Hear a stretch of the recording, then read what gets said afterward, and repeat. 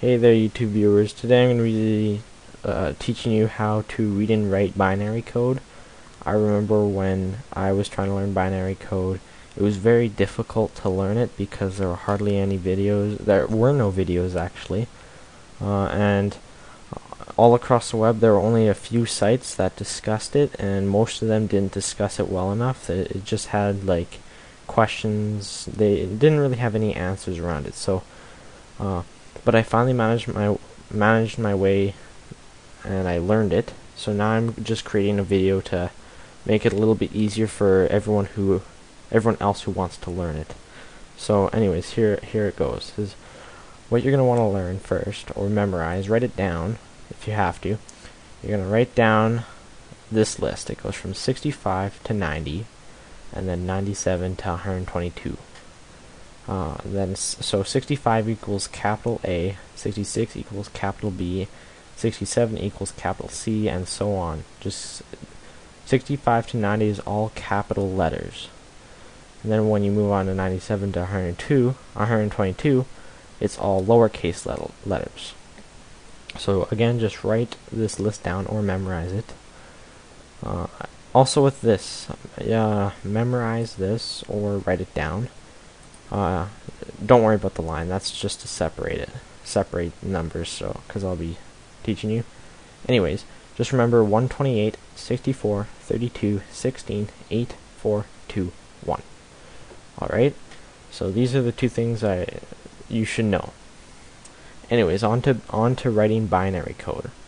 Uh, what you're going to want to do is you're going to want to first pick a letter. Any letter.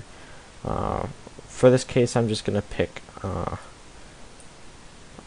I'll pick E. Why not? so you're look you're gonna look at capital E, and capital E equals 69. So you're gonna go down here, and you're gonna look at 128. Now, how many times does 128 go into 69?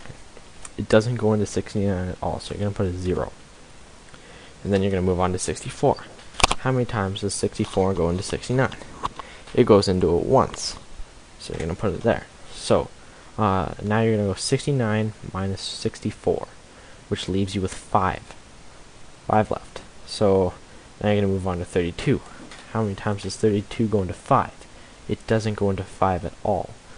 And then you just keep going down the list. 16 goes into 5 0 times.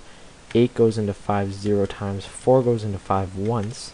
2 goes into 1. Or, sorry, uh, 5 minus 4 equals 1. So 2 goes into 1 0 times and 1 goes into 1 once. So that's the binary code for the letter capital E.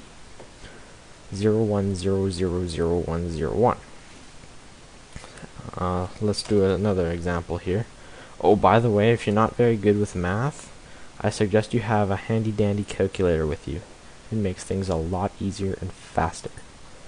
Uh, anyways, I'm going to pick another letter here just to show you guys. I'm going to pick the uh, letter small k, lowercase k. So how many times does 128 go into 107? It goes into 0 times. 64 goes into it once, so 107 minus 64 equals 43. So you got 43 remainder. Uh, 32 goes into 43 once, so you're going to minus 32. You got 11 remaining. 16 goes into it 0 times. 8 goes into it once. So minus 8. Hopefully by this time you should be able to minus it by yourself, but if not, tough luck. Uh, 3, 4 goes into 3 0 times. 2 goes into 3 once, remaining 1. And then 1 goes into 1 once. Uh, a little trick that I learned is that if you screw up anywhere through this, uh, you will not get an e you won't you'll have a remaining number after this number. So for example here, say I were to screw up like for f equals 70 and I were to put a 1 here, I don't know why, maybe maybe some retarded kid decided to do that. But and you go through here 0 oh whoopsies.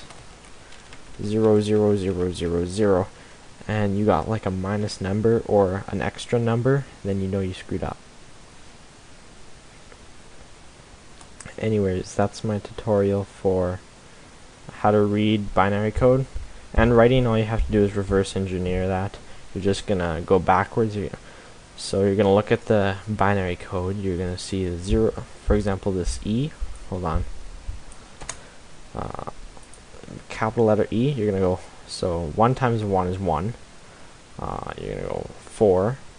16 or and 64 64 plus 4 plus 1 64 68 69 so basically wherever you see a 1 just add the number. so you see a 1 here see a 1 here and you see a 1 here 64 plus 4 plus 1 all equals 69 you just look on your chart 69 equals E and there you have it hopefully that this tutorial helped you guys a bit whoever wanted to learn this and if you want me to make a remake of it, maybe go a little more in depth, I can. Just post comment. Anyways, see you guys around.